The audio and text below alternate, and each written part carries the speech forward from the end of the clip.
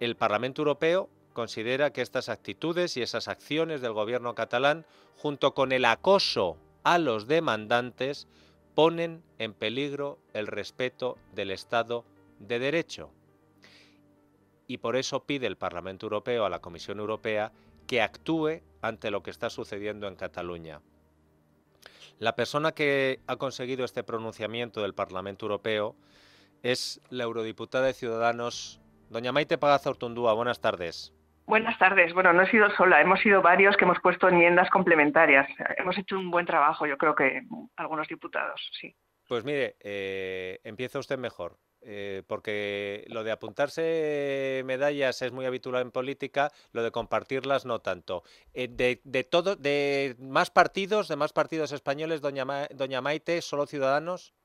No, no, no. Yo creo que mm, hemos puesto enmiendas varios partidos constitucionalistas y, lo que hemos hecho es complementar y reforzar pues varias ideas que, que son muy importantes en, en fondo y en criterio. Eh, por primera vez eh, conseguimos que se apruebe que cuando el Estado de Derecho en entidades subestatales sea vulnerado, los gobiernos tengan que reparar esto y si no, la Comisión tenga que actuar y, en segundo lugar, algo que mm, es muy novedoso en el Parlamento Europeo, que se está empezando a contemplar, la idea de la condicionalidad, que cuando hay estados que sistemáticamente pongan en, riesgo el Estado de Derecho, puedan tener una condicionalidad en los fondos. Pues eso nosotros lo hemos incorporado también como criterio a que cuando las entidades subestatales, em, en fin, eh, hagan ese tipo de vulneraciones, si el Estado no, no actúa, se pueda también pensar en ellos. Entonces, esto como elemento de fondo es un criterio muy importante y además se ha introducido el elemento concreto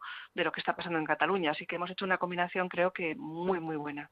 Es eh, por primera vez que ponemos todo esto junto, que se ha aprobado y no es una ley, pero marca una tendencia, marca un criterio y marca pues eh, la necesidad de que si nos vamos a tomar tan en serio el Estado de Derecho en todo en toda la Unión Europea, también se tenga que tener en cuenta qué pasa cuando hay gobiernos que incumplen y, todo lo que usted ha relatado, salvo el Poder Judicial, es un verdadero régimen iliberal, tóxico, integrista y ultraidentitario.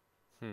Al hilo de, al hilo de los efectos, eh, se lo he preguntado eh, otras veces después de otras iniciativas que tanto usted como eh, Vox o el Partido Popular han conseguido mover en el Parlamento Europeo. ¿Usted cree que en la práctica esto sirve de algo, lo que han conseguido ayer?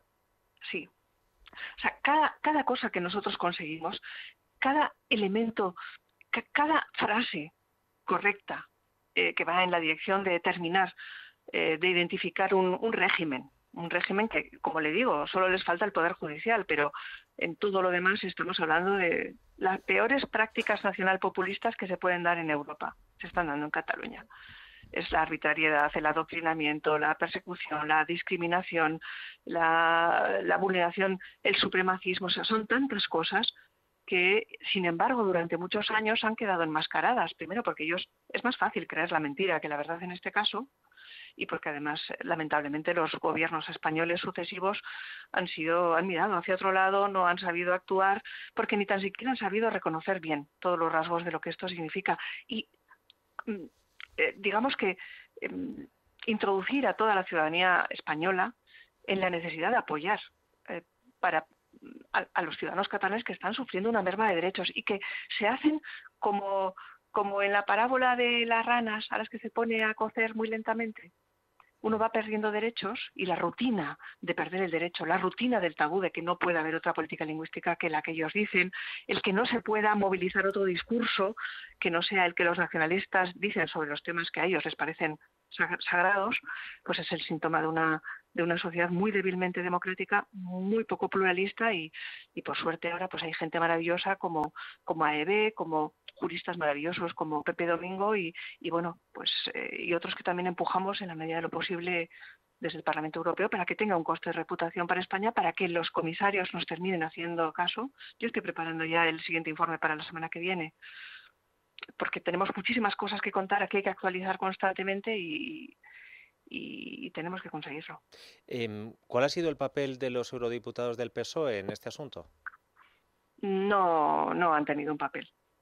No, no están ayudando. eh, vamos a ver, son correa de transmisión de los intereses o de la agenda del presidente del gobierno. Muchos de ellos son gente estupenda, en lo personal se lo puedo asegurar, y en otros temas que trabajan, pero en esto no, no, tienen, no tienen esa querencia, esa necesidad de, de, trabajar en los temas eh, que, bueno, que otros sí que estamos muy volcados. Ha dicho usted que estaba ya preparando un siguiente informe. Eh, ¿Sobre qué asunto, doña Maite? Bueno, eh, como todas las cuestiones que tienen que ver con la, propia universidad, en la que también está habiendo ahora eh, ataques a, la libertad de cátedra, que se pueda dar las clases en español o en catalán. Hay sentencias eh, que, han ido indicando que las propias universidades públicas catalanas han han ido en contra de, criterios de libertad de conciencia.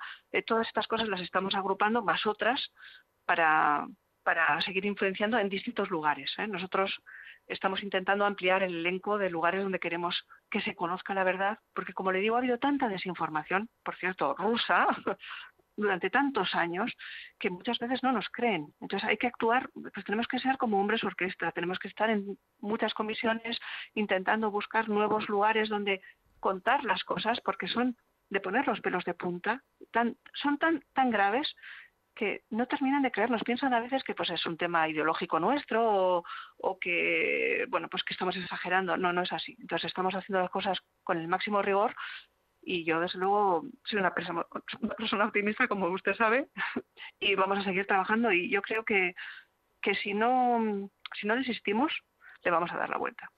Una última cuestión, doña Maite. Em, eh, el tono en el que ha dicho, por cierto, rusa, Em, veo que em, es la interpretación que, yo hago desde fuera, pero usted que está ahí a lo mejor eh, me corrige. la cuestión rusa, el vínculo del régimen de Putin con Puigdemont, con el separatismo catalán, ¿ha podido influir en el que algunos europarlamentarios de otros países eh, que miraban con otros ojos a Puigdemont y su causa hayan cambiado en los últimos meses eh, y empiecen a recelar también del separatismo catalán? Sí, en parte sí. Eh, creo que estamos, eh, bueno, hemos sacado dos resoluciones que indicaban que el Parlamento tenía que llegar hasta las últimas consecuencias en la investigación. Le puedo adelantar que, bueno, yo pedí, soy miembro también de la Comisión de Desinformación y he trabajado mucho esto. Vamos a tener un hearing, vamos a tener un hearing en que se van a ver, se va a ver la influencia de la desinformación rusa eh, sobre Hungría y sobre Cataluña.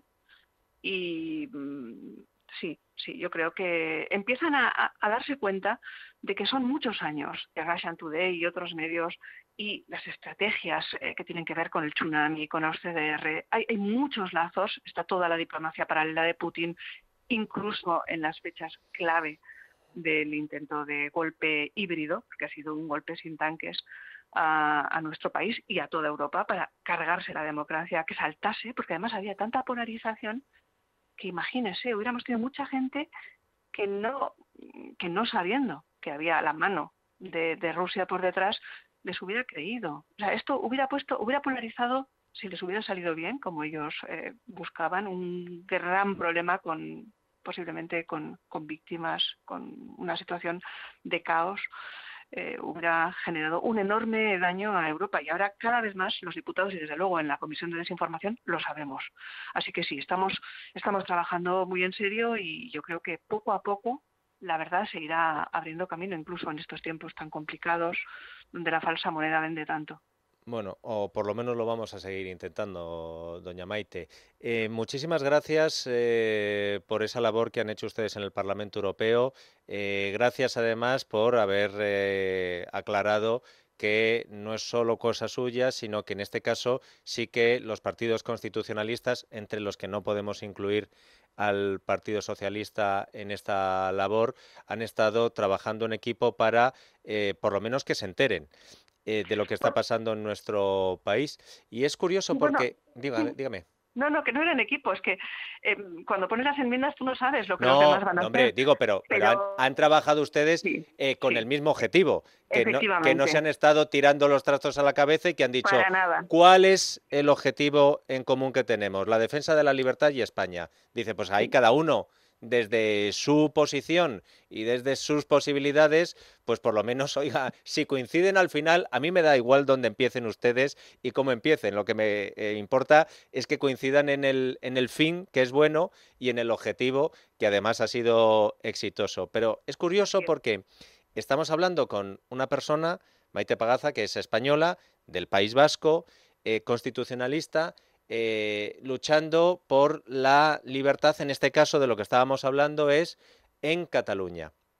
Y mm, el siguiente asunto que voy a tratar, doña Maite, es de un español constitucionalista como usted, vasco como usted, y que ha intentado ejercer su libertad en Cataluña, eh, pero los mismos integristas de los que usted me hablaba no se lo quieren permitir. No sé si se ha enterado usted lo que está pasando con Iñaki Arteta. Sí, sí, sí. Sí, sí, lo, he sabido. Eh, bueno, yo soy, soy miembro de la Asociación por la Tolerancia.